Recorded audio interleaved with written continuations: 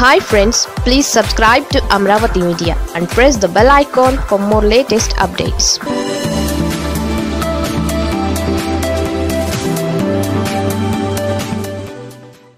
Sankranti నుంచి జగన్ మరింత జోరు. కొత్త ఏడాది వచ్చేసినట్లే. దాంతోపాటే రాజకీయ వేడి కూడా పెరిగినట్లే. రెండు వేల ఇరవై మూడు జనవరి ఇరవై ఏడు నుంచి తెలుగుదేశం భావి వారసుడు నారా లోకేష్ పాదయాత్ర స్టార్ట్ అవుతుంది. నాలుగు వేల కిలోమీటర్లు నాలుగు వందల రోజుల పాటు ఈ పాదయాత్రను డిజైన్ చేశారు.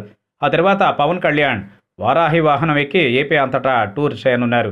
ఈ రెండు యాత్రలు ఏపీలో రెండు వేల ఇరవై మూడులో హాట్ టాపిక్గా మారనున్నాయి.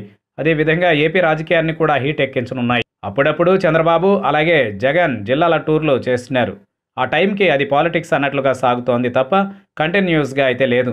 కానీ ఒకసారి లోకేష్ పాదయాత్ర స్టార్ట్ అయితే జనాల మూడ్ నెమ్మదిగా ఆ వైపుగా డైవర్ట్ అయ్యే ఛాన్స్ ఉంది. అలాగే వీకెండ్ పాలిటిక్స్ చేస్తున్నారు పవన్ కళ్యాణ్ అంటూ విమర్శలు చేస్తూ వస్తున్న వైసీపీకి ఆయన ఈ మధ్యనే ఒక సవాల్ చేశారు. నేను వారానికి ఒకసారి వస్తే తట్టుకోలేని మీరు రోజు వస్తే ఎలా ఉంటారో అని. ఇప్పుడు పవన్ ఇదే చేయబోతున్నారు.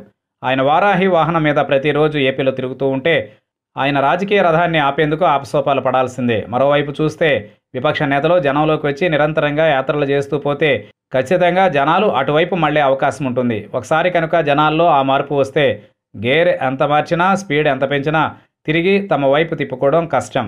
అలా జనం మూడ్ మారి పొలిటికల్ పోలరైజేషన్ స్టార్ట్ కావడానికి రెండు వేల ఇరవై మూడు వేదికగా మారబోతోంది అన్నదైతే విశ్లేషణగా ఉంది.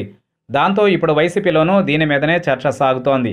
విపక్షానికి ఎట్టి పరిస్థితుల్లో అలాంటి ఛాన్స్ ఇవ్వరాదని ఏదైనా అడ్వాన్స్ పొజిషన్ ఉంటే దానిని తామే తీసుకోవాలని వైసీపీ గట్టిగా భావిస్తోంది. దాంతో వైసీపీకి ఉన్న ఏకైక స్టార్ క్యాంపైనర్ జగన్ జనంలోకి వస్తారని అంటున్నారు.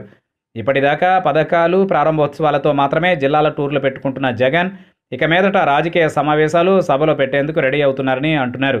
సంక్రాంతి పండుగ తరువాత జగన్ పొలిటికల్ టూర్ స్టార్ట్ అవుతుందని అంటున్నారు. జగన్ ఏ విధంగా జనాలకు చేరువ అవుతారు? ఆయన టూర్ రూపురేఖలు ఎలా ఉంటాయన్నది ఇంకా తెలియరావడం లేదు. అయితే రచ్చబండ టైప్ ప్రోగ్రామ్స్తో పల్లెబాట పడుతూ జనాలకు చేరువయ్యే ఆలోచనలు ఉన్నాయని అంటున్నారు. అదేవిధంగా ప్రతి నియోజకవర్గంలోనూ ఒక బహిరంగ సభ ఏర్పాటు చేయాలని కూడా ప్లాన్ ఉన్నాయని చెబుతున్నారు.